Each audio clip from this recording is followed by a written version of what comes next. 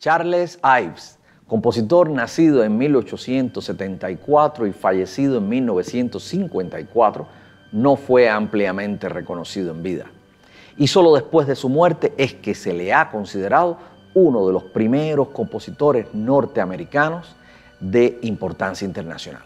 Conocido por su innovación y experimentación, incorporó una amplia gama de estilos en su música, desde el himnario tradicional y la música popular hasta las técnicas más vanguardistas. Su música a menudo es polifónica, polirrítmica y también utilizó técnicas de música aleatoria y atonalidad. Algunas de sus obras más conocidas e importantes son la Sonata Concord y la Pregunta sin Respuesta. Esta última, compuesta en 1908, conocida por el uso de elementos espaciales y la justaposición de diferentes capas sonoras. La pieza está escrita para una pequeña orquesta de cámara que consta de una sección de cuerdas, cuarteto u orquesta preferiblemente con sordina, un grupo de maderas, cuarteto de flauta o dos flautas, oboe y clarinete, y un solista trompeta, que puede ser también corno inglés, oboe o clarinete en caso de que ya no estén en las maderas divididos estos tres grupos en tres capas independientes que interactúan entre sí a lo largo de la obra. Estos estratos tienen relación directa con el manejo del espacio extramusical, es decir, el manejo del espacio en el escenario, ya que el compositor declara en el prólogo de la partitura, y cito, el cuarteto de cuerdas o la orquesta de cuerdas, con sordina si es posible, deberían estar fuera del escenario o lejos de la trompeta y las flautas. Fin de la cita y continúa.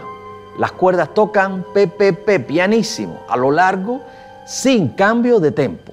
Están destinadas a representar los silencios de los druidas que no saben, no ven ni oyen nada. Fin de la cita. Esto contribuye a la sensación de que su música proviene de un lugar lejano o inalcanzable.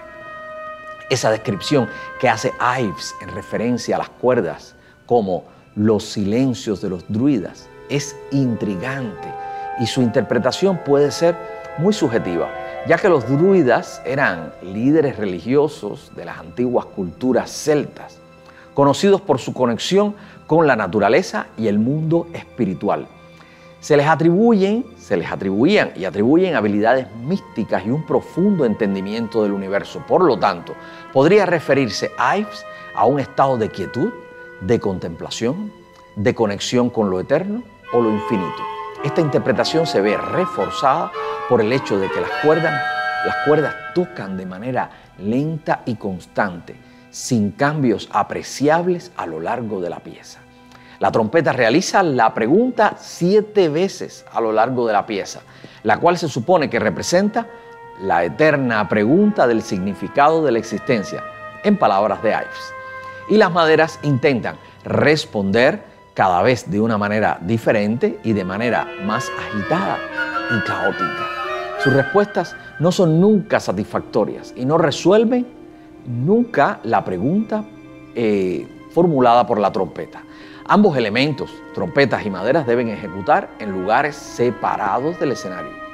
Al final solo queda la tranquila música de las cuerdas, simbolizando la eternidad. La disposición espacial propuesta por Ives ayuda a resaltar la interacción entre la pregunta y las respuestas en la música y puede hacer que el diálogo musical parezca más real para la audiencia. Esta obra es una perfecta muestra de cómo Charles Ives rompe con las normas tradicionales, tanto en la estructura como en la temática. Su intento de abordar cuestiones filosóficas profundas a través de la música lo coloca en la vanguardia de la experimentación musical del siglo XX. Escuchemos.